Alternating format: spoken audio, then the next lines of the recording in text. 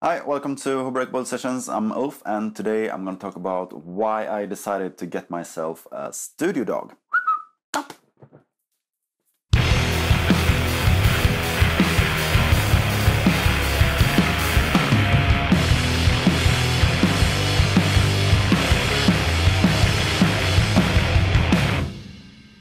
A really important part of um working with audio, like mixing, recording, mastering, and everything, is to make sure to take breaks. And uh, recommended is like taking five minute breaks every half hour, every hour, as often as you feel you need, but you cannot sit for several hours working with mixing and expect to know what you're doing. But for a lot of people like me, it's really hard to have that routine.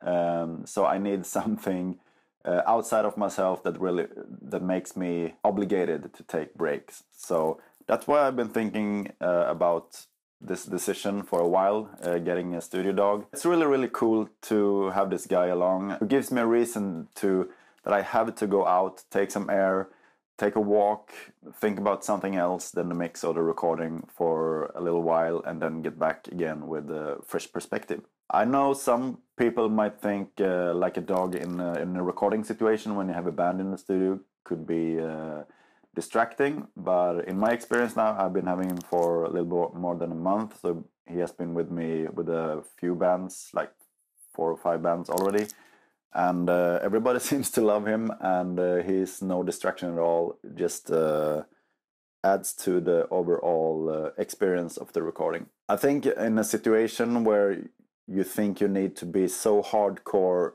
concentrated on what you're doing like that you cannot even be distracted by a, a dog in the studio that's not a healthy work situation and uh, i don't want to be a part of that project anyways. I also think it's kind of an interesting phenomenon with uh, with pets and studios and especially studio dogs since i decided to get one.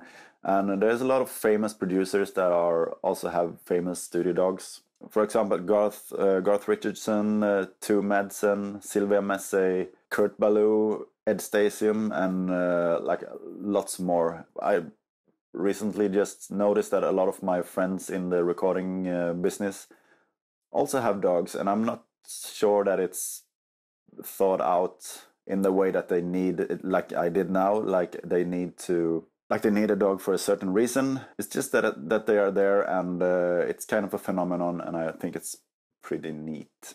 So just because I'm a, a newly dog owner, uh, I thought I'm gonna do like a hopefully a weekly series uh, where I present uh, studio dogs. So now I'm asking you who who are watching this to take a video or a photo of yourself. Uh, I'd rather you take a video, like with your phone or something, of you and your dog. Just make a presentation of the dog and send it to me at uh, info at hoborec.com and I will try to feature it in my future videos. Yeah, and that's pretty much it for this week. And don't forget to take breaks. It's really important. If you want to have some quality in your work and to know that your mixes are really worked out, take breaks it's gonna save you some time. Uh, if you don't take breaks, you're not saving time.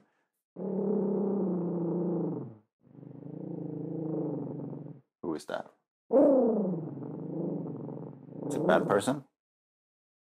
That's good. Yeah, be sure to take breaks, and uh, that way you're gonna keep enjoying what you're doing for so much longer. So please subscribe to the channel, watch my other videos, leave comments, and hit that like button. Um, see you again next week. Bye bye. Cheers.